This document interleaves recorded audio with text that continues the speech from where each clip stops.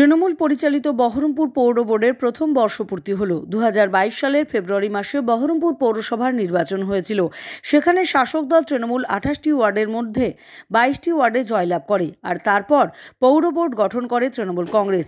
বহরমপুর পৌরসভার চেয়ারম্যান হন নারুগোপাল মুখার্জি। পৌরসভা গঠনের পর থেকেই শহর বহরমপুরকে ঢেলে সাজানো শুরু করেন চেয়ারম্যান। এদিন চেয়ারম্যান নারুগোপাল মুখার্জি সাংবাদিকদের মুখোমুখি হয়ে পৌরসভার নানা রকম প্রকল্প নিয়ে আলোচনা করেন। কি বললেন তিনি শুনে নেব তার মুখেই।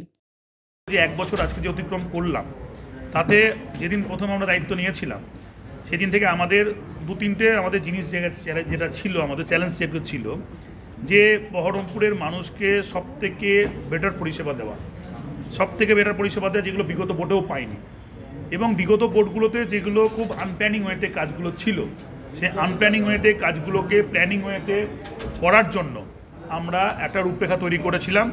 আমাদের সমস্ত কাউন্সিলর যারা আমাদের সঙ্গে রয়েছেন, তাদের সমস্ত কাউন্সিলরদের আমরা সঙ্গে নিয়ে আমরা যেটা টিম ওয়ার্ক করি সেই টিম ওয়ার্ক আমরা করেছিলাম, আমাদের টিম ওয়ার্ক করে আমাদের যারা পদাধিকার যারা ছিলেন এক্সিকিউটিভ অফিসার থেকে আরম্ভ করে, যারা আমাদের ফিনান্স অফিসার যারা আমাদের ইঞ্জিনিয়ার যারা আমাদের বড়বাবু থেকে আরম্ভ আমাদের অফিসের যারা বিভিন্ন এমপ্লয়িরা যারা ছিলেন, তাদের নিরলস পরিশ্রম প্রচেষ্টায় আমরা প্রথম যে সেট আমরা হাত দিই, যে শহরের মানুষের পরিষ্কার পরিচ্ছন্নতা দরকার।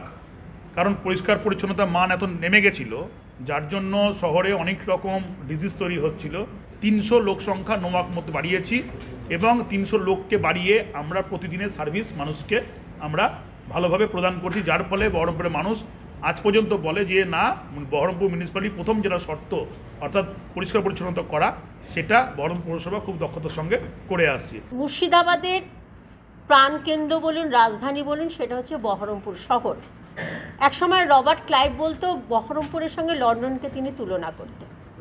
আমরা বিগত দিনেও বহরমপুর শহর আমরা দেখেছি এবং বহরমপুর শহরে আজকের সেই বহরমপুর শহরও আমরা দেখছি। আমাদের একটা আফসোস ছিল, যখন স্কোয়ার ফিল্ডের দিকে তাকাতাম, মাঝে মাঝে কলকাতায় গিয়ে দেখতাম সেখানকার কি সুন্দরভাবে ফিল্ডগুলোকে সাজানো রয়েছে।